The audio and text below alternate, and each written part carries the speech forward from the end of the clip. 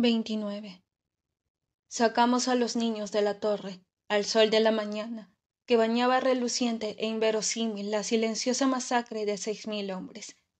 Ya era intenso el zumbido de las moscas y los cuervos habían llegado en bandadas. Cuando salimos, se elevaron del suelo de golpe y se posaron sobre los muros a esperar a que dejáramos de estorbarles. Habíamos pasado ante el varón, en la despensa, apoyado contra el muro de la chimenea con la mirada perdida en unos ojos que no veían nada y un charco de sangre bajo sus pies. Casi había encontrado una de las pociones de sueño en su frasco y todavía sin abrir, agarrada en la mano de un hombre de armas desplomado y muerto junto a él. Lo abrió y dio de beber un trago a cada uno de los niños, allí abajo, antes de que los sacásemos al exterior. Ya habían visto más que suficiente Staché colgaba ahora inerte sobre el hombro de Casia, y Sarkán llevaba a Amarilla acurrucada en sus brazos. Yo me afanaba por seguirlos, demasiado vacía para sentir más náuseas, demasiado seca para las lágrimas. Aún me faltaba el aliento y me causaba dolor en el pecho. Sol ya caminaba conmigo y me ofrecía una mano ocasional para superar algún montículo de cadáveres con armadura particularmente alto. No lo habíamos hecho prisionero. Él nos había seguido al exterior, sin más, detrás de nosotros, con una expresión de desconcierto, como un hombre que supiese que no estaba soñando, pero tuviera la sensación de que debía de estarlo. Abajo, en la despensa, le había entregado a Sarkán lo que quedaba de su capa para que cubriese a la pequeña princesa. La torre continuaba en pie, apenas. El suelo del gran salón era un laberinto de losetas rotas, raíces muertas y enredaderas marchitas desparramadas por encima de ellas, achicharradas como el cuerpo de la reina, allá abajo. Varias columnas se habían derrumbado por completo. En el techo había un agujero que se asomaba a la biblioteca y una silla medio caída en su interior. Sarkán levantó la mirada hacia allá conforme salíamos, pasando por encima de bloques de piedra y escombros. Tuvimos que recorrer entero el perímetro de los muros que habíamos levantado en nuestro intento por mantener a Marek fuera de allí. Las voces de las piedras antiguas me susurraban con tristeza mientras atravesábamos los pasadizos. No vimos a nadie vivo hasta que salimos al campamento abandonado. Allí había por lo menos algunos soldados que rebuscaban entre las provisiones. Un par de ellos salieron corriendo del pabellón para oír de nosotros y se llevaban unas copas de plata. Yo habría pagado con gusto una docena de copas de plata por oír otra voz mortal, a cambio de la posibilidad de creer que no todo el mundo había muerto. Pero huyeron todos ellos, o se escondieron detrás de las tiendas o de las pilas de provisiones, vigilantes. Nos quedamos de pie en aquel campo silencioso. Los soldados de los cañones. Dije al acordarme, pasado un momento. Aún estaban allí, una compañía de piedra, apartados, con los ojos grises e inexpresivos clavados en la torre. La mayoría de ellos no había sufrido daños graves. Los rodeamos en silencio. Ninguno de nosotros tenía las fuerzas suficientes para deshacer el hechizo. Finalmente, le ofrecí la mano a Sarkán. Él se cambió a amarilla al otro brazo y me permitió coger la suya. Conseguimos represar la magia necesaria para deshacer el hechizo los soldados se retorcieron y se sacudieron al liberarse de la piedra, temblando con el repentino regreso del tiempo y del aliento. Algunos de ellos habían perdido varios dedos o lucían marcas profundas allá donde sus cuerpos habían sufrido impactos, pero se trataba de hombres entrenados que manejaban unos cañones que rugían de un modo tan terrible como cualquier hechizo. Se apartaron de nosotros con los ojos desorbitados, aunque entonces miraron a Solya, a él por lo menos, Sí lo reconocieron. ¿Órdenes, señor? le preguntó inseguro uno de ellos. Sol ya se quedó mirándolo igual de inexpresivo por un instante, y a continuación se volvió hacia nosotros con la misma inseguridad. Caminamos juntos hasta Olshanka, por un sendero todavía polvoriento de tanto uso el día anterior. Ayer traté de no pensar en ello.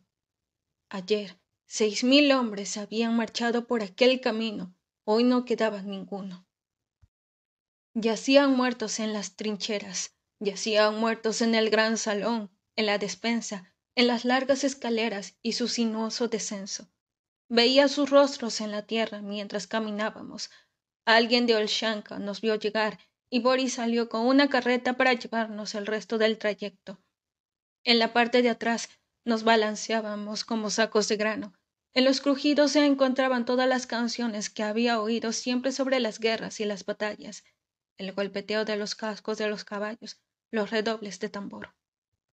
Todas aquellas historias debían de haber acabado del mismo modo, con alguien que regresa cansado a su hogar desde un campo sembrado de muerte, pero nadie cantaba esa parte jamás.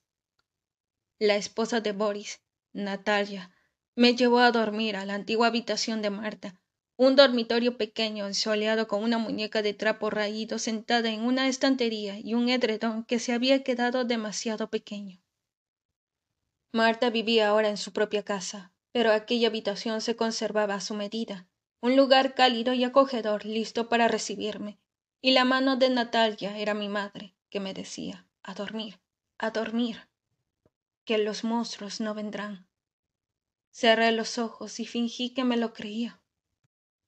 No me desperté hasta el anochecer, un cálido anochecer estival con el agradable telón azul del crepúsculo. Había en la casa un creciente ajetreo acogedor y familiar, alguien que buscaba la cena, otros que llegaban de su jornada de trabajo. Me senté ante la ventana sin moverme durante un largo rato más. Aquella familia era mucho más acomodada que la mía. Tenían en la casa una planta superior solo para los dormitorios.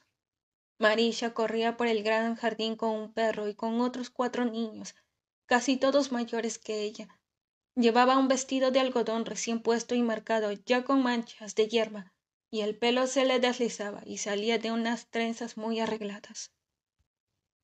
Stashek, sin embargo, estaba sentado cerca de la puerta observándolos, aunque uno de los otros niños eran de su edad. Ni siquiera con aquellas ropas sencillas parecía, ni mucho menos, un niño normal y corriente, con los hombros muy rectos y un rostro con la solemnidad de una iglesia. Tenemos que llevarlos de vuelta a Kralia, dijo Solia. Con tiempo para descansar, había recobrado parte de su indignante seguridad en sí mismo y se había sentado en nuestra compañía como si hubiese estado con nosotros desde el principio.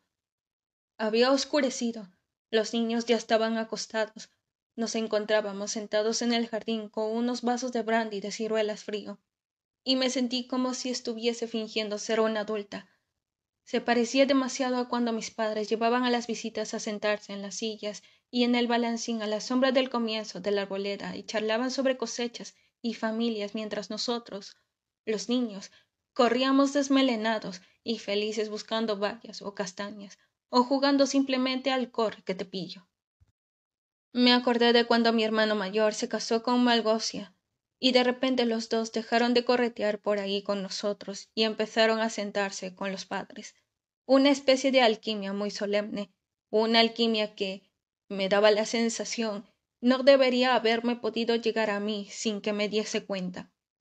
No me parecía en absoluto real estar sentada allí siquiera, y mucho menos hablar de tronos y de muerte, con gran seriedad, como si aquellas fueran cosas reales en sí y no fragmentos extraídos de canciones. Tenía una sensación más extraña todavía, escuchando cómo discutían todos ellos.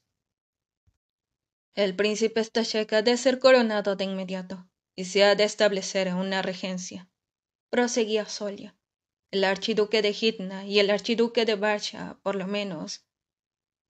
Esos niños no van a ir a ninguna parte salvo con sus abuelos, dijo Casia, aunque me los tenga que echar a la espalda y cargar con ellos todo el camino. Mi querida niña, tú no lo entiendes, empezó Solia. No soy vuestra querida niña, dijo Casia con un tono mordiente que lo silenció. Si esta cheque es el rey ahora, perfecto. El rey me ha pedido que lo lleve a él y a Marisha con la familia de su madre. Allí es a donde se dirigen. La capital está demasiado cerca, de todos modos. Sarkhan movía los dedos, impaciente, desdeñoso. Desde luego que entiendo que el archiduque de Barsha no quiera al rey en manos de Hitna, añadió irritado, cuando Solia cogió aliento para discutírselo. Y me da igual. Kralia no era antes un lugar seguro, no será más seguro ahora. Pero ningún lugar será seguro. Los interrumpí, perpleja. No por mucho tiempo. Lo que me parecía a mí era que andaban a la gresca sobre si construir una casa a este lado del río o al otro sin prestar atención a la marca de la crecida del deshielo en un árbol cercano, más elevada de lo que estaría cualquier puerta. Hitna está en el océano, dijo Sarkán pasado un instante. Los castillos del norte estarán bien situados para montar una considerable defensa. El bosque llegará de todas formas, exclamé. Lo sabía. Había mirado a la cara a la reina bosque y había sentido el latir de aquella ira implacable contra mi piel. Todos estos años, Sarkán había contenido al bosque como a una riada tras un dique de piedra, había desviado su poder y lo había distribuido en un millar de riachuelos y pozos de energía desperdigados por todo el valle. Pero se trataba de un dique que no podría aguantar para siempre. Hoy, la próxima semana, el año que viene, el bosque lo rompería, reclamaría todos aquellos pozos, aquellos riachuelos y ascendería rugiendo por la ladera. Y, alimentado entonces por toda esa fortaleza recién adquirida, atravesaría los pasos de las montañas. No iba a haber ninguna fuerza que le saliera al encuentro. El ejército de Polja había sido masacrado, el de Rosya herido, y el bosque se podía permitir perder una batalla, dos batallas o una docena de ellas, establecería sus posiciones y esparciría sus semillas, e incluso si se viera forzado a retroceder por un paso u otro de las montañas, eso no importaría al final. El bosque seguiría viniendo. Ella seguiría viniendo. Podríamos contener al bosque el tiempo suficiente para que esta y Marisha creciesen, para que se hicieran mayores o incluso muriesen de viejos, pero ¿y los nietos de Boris y Natalia que corrían con ellos por el jardín? ¿O sus propios hijos creciendo bajo una sombra cada vez más alargada? No podemos seguir conteniendo al bosque con Polya en llamas a nuestra espalda, dijo Sarkán. Los rollos cruzarán al Ritva en busca de venganza en cuanto se enteren de que Marek está muerto. No podremos contener al bosque en absoluto, dije. Eso es lo que intentaron ellos. Eso es lo que vos habéis estado haciendo. Tenemos que detenerlo para siempre. Tenemos que detenerla a ella. Me fulminó con la mirada. Sí, una idea genial. Si la espada de Alosha no ha podido matarla, nada puede. ¿Qué propones que hagamos? Le sostuve la mirada y vi el nudo de temor de mi estómago reflejado en sus ojos. Su rostro se quedó inmóvil, su expresión perdió agresividad, se dejó caer contra el respaldo de la silla sin dejar de mirarme. Sol ya nos observaba a los dos confundido y Casia me contemplaba con cara de preocupación, pero no había ninguna otra cosa que hacer. No lo sé, le dije a Sarkán con voz temblorosa pero algo haré. ¿Entraríais vos en el bosque conmigo? Casi estaba a mi lado, indecisa, en el cruce de caminos a las afueras de Olshanka, entristecida. El cielo aún era del primer gris rosado del alba. Nieska, si crees que te puedo ayudar, dijo en voz baja, pero le hice un gesto negativo con la cabeza. Le di un beso ella me rodeó con cuidado con los brazos y fue apretando poco a poco hasta que me sostuvo con fuerza. Cerré los ojos y me aferré a ella, y por un instante fuimos niñas de nuevo, unas crías, bajo una sombra distante pero felices a pesar de todo.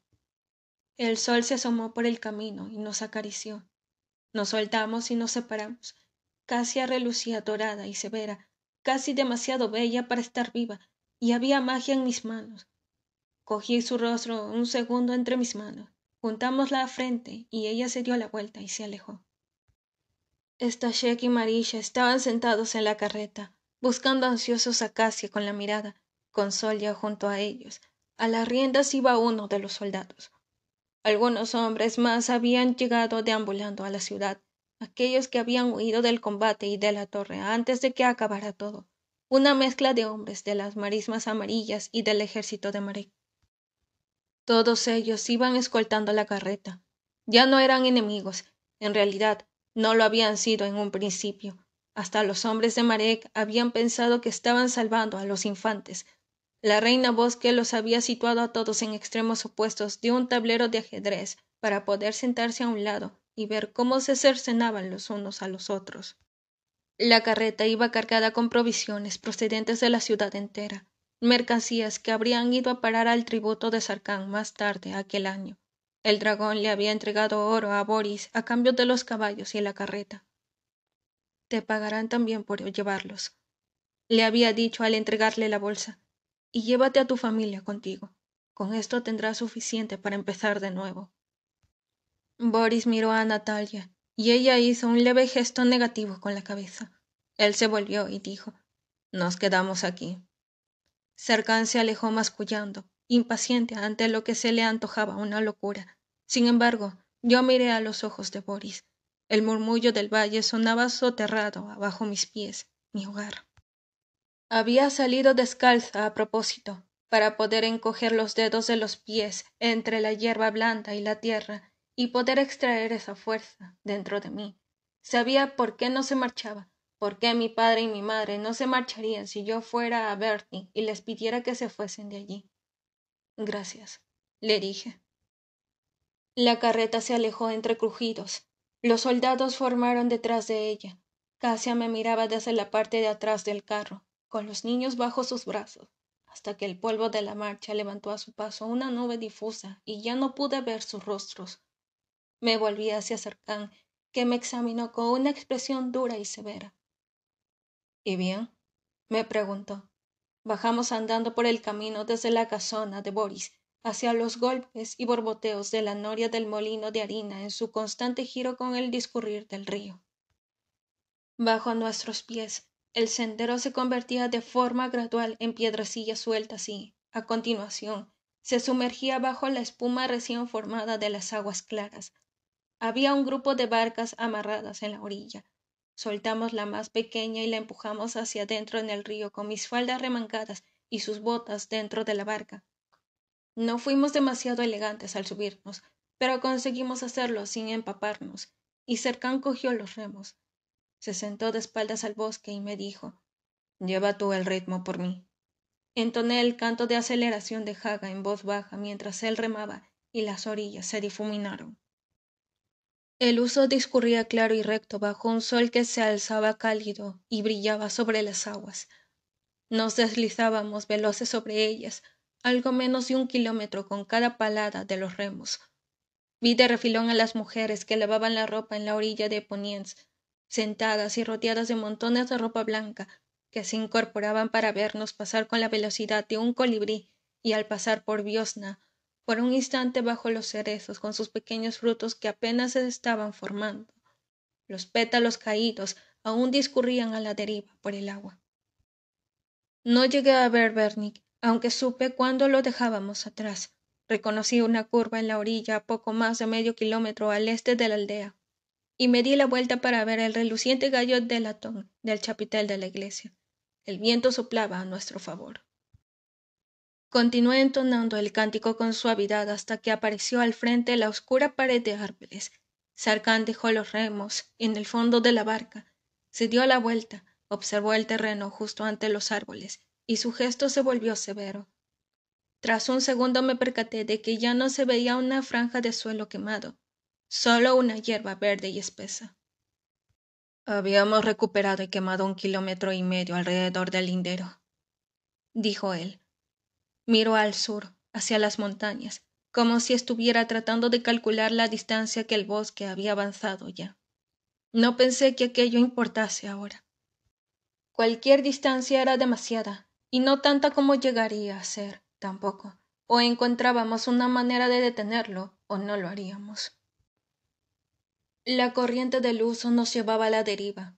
Más adelante, los árboles esbeltos y oscuros extendían unos largos brazos y unos dedos entrelazados a lo largo del río, formando un muro que se alzaba en ambas orillas. Sarkán se volvió hacia mí y unimos las manos. Entonamos un hechizo de distracción, de invisibilidad, y lo tomé y se lo murmuré a la barca para decirle que fuese un bote perdido y vacío sobre las aguas, con la marra rota y deshilachada que daba suaves sacudidas sobre las rocas. Tratamos de no ser dignos de atención, nada por lo que preocuparse. El sol había ascendido, y una banda de luz recorría el río entre las sombras de los árboles. Coloqué uno de los remos detrás de nosotros a modo de timón y mantuve la barca en la franja soleada. Las riberas se volvieron más espesas y exuberantes, zarzas cargadas de bayas rojas y espinas como dientes de dragón, blancuzcas y con filos mortíferos. Los árboles eran cada vez más gruesos, contrahechos y enormes. Se inclinaban sobre el río, lanzaban al aire los finos látigos de sus ramas, zarpazos que reclamaban una mayor cantidad de cielo. Su aspecto era tal y como sonaba un gruñido. Nuestra senda segura discurría cada vez más pequeña y más estrecha, y el agua guardaba silencio debajo de nosotros, como si ella también se estuviese escondiendo. Nos acurrucamos en el centro de la barca. Una mariposa nos delató el leve retazo de un revoloteo amarillo y negro que se había perdido por el bosque. Descendió a descansar en la proa de nuestra barca, agotada, y un pájaro salió disparado como un cuchillo negro de entre los árboles y la atrapó. Se posó en la proa con las machacadas alas de la mariposa asomando del pico y dio cuenta de ellas con tres rápidos golpes de mandíbula, mirándonos con unos ojos como pequeñas cuentas negras.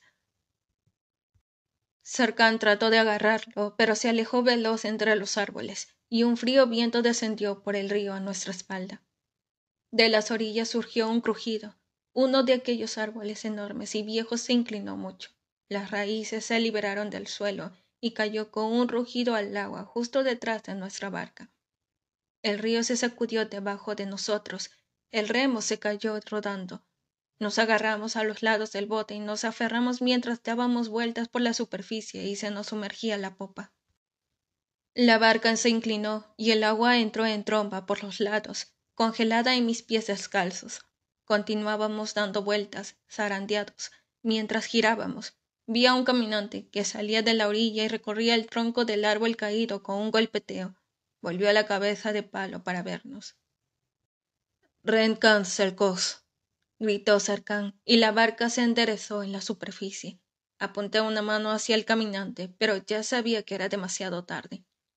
Bullshit, dije, y el resplandor naranja de un fuego surgió de repente en su espalda con aspecto de rama. La criatura se dio la vuelta y huyó corriendo al interior del bosque sobre sus cuatro patas, dejando un rastro de humo y un brillo anaranjado a su paso. Nos habían visto. La mirada del bosque descendió sobre nosotros con toda su fuerza, como un mazazo. Me caí de espaldas al fondo de la barca, golpeada, y sentí que el agua fría me empapaba la ropa, como una sacudida. Los árboles se estiraban hacia nosotros, alargaban unas ramas espinosas sobre el agua, y las hojas caían a nuestro alrededor y se juntaban en la estela de nuestra barca. Doblamos un recodo y nos encontramos con media docena de caminantes un poco más arriba, encabezados por una mantis verde oscuro, bateando el río todos ellos como si formaran un dique viviente. El agua se había acelerado, como si el uso hubiera preferido llevarnos y dejarlos atrás, pero eran demasiados, y más aún que se adentraban en el río más adelante.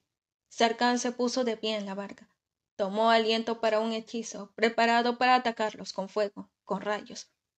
Me levanté con esfuerzo, lo cogí del brazo y tiré de él conmigo por la borda de la parte de atrás del bote, al agua, y sentí a través de la mano su sorprendido arrebato de indignación. Nos sumergimos en la profundidad de la corriente y volvimos a salir a la superficie para flotar como una hoja sujeta en una rama, verde pálido y pardo, arremolinándose con todas las demás. Era una ilusión y no lo era. La mantuve con todo mi corazón, sin desear nada más que ser una hoja, una minúscula hoja que se lleva el viento. El río nos atrapó en una corriente estrecha y rápida y nos llevó con entusiasmo, como si tan solo hubiese estado esperando aquella oportunidad. Los caminantes atraparon nuestra barca y la mantis la destrozó con las pinzas de sus patas delanteras. La hizo astillas y la metió la cabeza entre ellas, como si tratase de encontrarnos. Volvió a sacar sus ojos brillantes y facetados y miró a su alrededor una y otra vez. Para entonces ya habíamos pasado veloces junto a sus patas. El río nos había absorbido brevemente a un remolino, hacia un silencio verde y turbio, fuera del alcance de la vista del bosque, y nos había vuelto a escupir más abajo, en un retal cuadrado de rayos de sol con otra docena de hojas que rompieron en la superficie junto a nosotros. Allí atrás, corriente arriba, los caminantes y la mantis revolvían el agua y la cribaban con sus patas. Nos alejamos a la deriva en la superficie, en silencio. El agua nos llevaba. Fuimos hoja y rama durante un largo tiempo en la oscuridad. El río había menguado a nuestro alrededor y los árboles habían crecido de una forma tan monstruosa, tan altos, que sus ramas se entrelazaban sobre nosotros y formaban un baldaquino tan espeso que no lo atravesaba un solo rayo de luz. Apenas se filtraba un tenue resplandor. El sotobosque se había marchitado, privado del sol. Unos helechos de finas hojas y unas setas de sombrerete rojo se apiñaban en las orillas con los juncos grises y ahogados de raíces pálidas y expuestas en un barrizal negro que bebían del río. Había más espacio entre los troncos oscuros. Se acercaron a las orillas a buscarnos varias mantis y caminantes, y también otras cosas. Una de ellas era un jabalí de hocico grande y del tamaño de un pony con unos hombros peludos demasiado cargados y unos ojos rojos como ascuas los colmillos afilados y retorcidos sobre la mandíbula superior.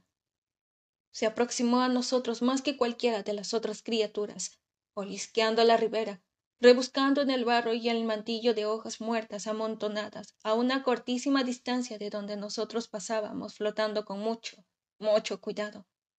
Somos hoja y rama, entoné silenciosa. Hoja y rama, nada más.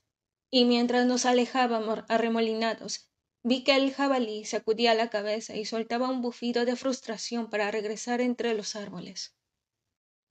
Aquella fue la última bestia que vimos. El latido de la terrible ira del bosque se había atenuado cuando desaparecimos de su vista. Nos estaba buscando, pero ya no sabía dónde mirar. La presión se fue aliviando todavía más conforme avanzábamos. Todos los sonidos y silbidos de las aves y los insectos se desvanecían. Tan solo el uso continuaba borboteando para sí, más ruidoso. Se volvía a ensanchar un poco y discurría más rápido sobre un lecho poco profundo de gravas pulidas. Sarkán se movió de repente, jadeó con sus pulmones humanos y tiró de mí con fuerza en el aire.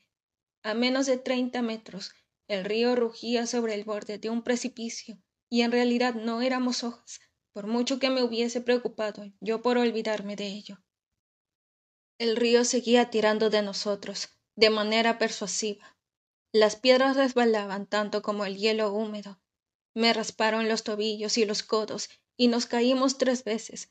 Nos arrastramos hasta la orilla, apenas a unos metros de la caída de la cascada, tiritando, empapados. Los árboles guardaban silencio a nuestro alrededor, oscuros, no nos vigilaban. Eran tan altos que, desde aquí abajo, en el suelo, Únicamente eran unas torres lisas y elevadas cuyo corazón había crecido siglos atrás. Para ellos no éramos más que unas ardillas que husmeaban entre sus raíces. Una enorme neblina se elevaba de la base de la catarata y ocultaba el borde de la pendiente y todo lo que había debajo. Sarkán me miró. ¿Y ahora qué? Me adentré en la niebla, con cuidado, tanteando el terreno. La tierra respiraba húmeda e intensa bajo mis pies y la neblina del río se me aferraba a la piel. Sarkán mantenía una mano sobre mi hombro. Encontré puntos de apoyo para los pies y para las manos, y descendimos por la pendiente abrupta, irregular, hasta que el pie se me resbaló y caí sentada. Él se cayó conmigo. Nos deslizamos juntos el resto de la ladera y nos las arreglamos para mantenernos sobre las posaderas en lugar de salir dando volteretas de cabeza hasta que la pendiente nos lanzó con fuerza contra la base del tronco de un árbol que se inclinaba peligrosamente sobre los remolinos de la poza de la cascada gracias a unas raíces aferradas a una roca enorme que impedían que se precipitase. Permanecimos allí tumbados boca arriba, aturdidos y sin aliento. La roca gris nos miraba con el ceño fruncido, como si no fuese más que un anciano de nariz grande y unas cejas pobladas de raíces aún magullada y arañada, sentí un inmenso alivio instintivo, como si por un instante me hubiese parado a descansar en una burbuja de seguridad. La ira del bosque no llegaba hasta allí. La niebla surgía del agua en densas cortinas y se desplazaba de aquí para allá, y a través de ella vi que las hojas se movían ligeramente, arriba y abajo, y un pálido amarillo en unas ramas plateadas, desesperadamente felices por descansar, y cercán masculló de entonces media maldición y se volvió a poner en pie agarrándome del brazo. Me levantó a rastras casi entre protestas, me apartó y me llevó al agua, que nos llegaba por los tobillos. Se detuvo allí, justo fuera del alcance de las ramas, y me di la vuelta para mirar entre la niebla. Habíamos estado tumbados debajo de un árbol corazón viejo y retorcido que crecía en la orilla. Huimos de él siguiendo el descenso del estrecho curso del río. El uso era allí poco más que un arroyo apenas ancho para que fuésemos corriendo los dos juntos y chapoteando sobre el fondo de arena gris y ámbar. La niebla se aclaró y acabó por levantarse el último manto de vapor con una ráfaga final que se la llevó por completo. Nos detuvimos, petrificados. Nos encontrábamos en un amplio claro poblado de árboles corazón, que se elevaban a nuestro alrededor como un ejército.